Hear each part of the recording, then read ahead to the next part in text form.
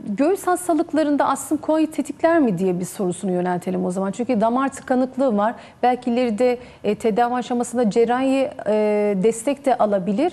E, akciğerlerin rahatsızlığı önce kontrol altına alındıktan sonra mı ameliyat kararı veriliyor hocam? E, tabii yani bu kalp damar cerrahının en çok e, konsültasyon hani danışma dediğimiz e, konsültasyon istediği bölüm göğüs hastalıklarıdır. Çünkü, Çünkü sabah sizi ziyaret ettiğimde de bypass ameliyatları için birçok hasta sizinle önce e, muayene sonrasında sizin onayınız sonrasında kalp ve damar cerrahisine yönlendirildiğini oradaki hastalarla konuştuğumda dile getirdikleri için tam da aslında izleyicimizin sorusu da denk geldi.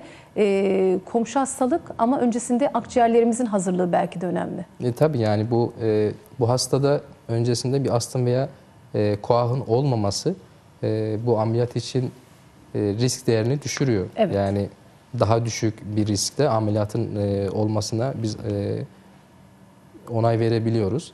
E, veya ortaklaşa hani e, hastaya e, ameliyat şimdi mi, bir hafta sonra mı, bir ay sonra mı tedaviyle e, erteleyebiliriz. E, Tabii astım ve koa hastası olan e, hastalarda e, cerrahi ameliyat riski biraz daha yükseliyor. Çünkü solunum fonksiyon kapasitelerinde özellikle koahta e, çok düşüklük yaşıyoruz. E, Nefes alma sıkıntısı mı? Orada rahat akciğerlerin oksijeni alamaması mı hocam? e, bu oksijen alamaması da olabilir tabii ki. Oksijen düşüklüğü de olabilir. E, veya parsiyel karbondioksit dediğimiz değer de bir kanda yüksek olabilir. E, özellikle hani bu spirometri dediğimiz e, üfleme testiyle e, akciğer kapasitesine bakıyoruz. Solunum fonksiyonuna bakıyoruz. E, çünkü hasta anestezi alacak ve anestezide bir e, biraz daha e, akciğer fonksiyonunda kayıp yaşanacak.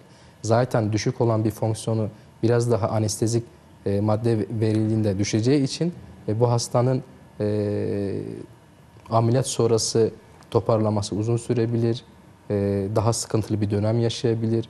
Onun için öncesinde e, göğüs hastalıklarından danışılır, konsültasyon istenir, öneriler öner, önerilerde bulunuruz E, ve ona göre hastaya ameliyat e, e, hazırlık prosesi başlar.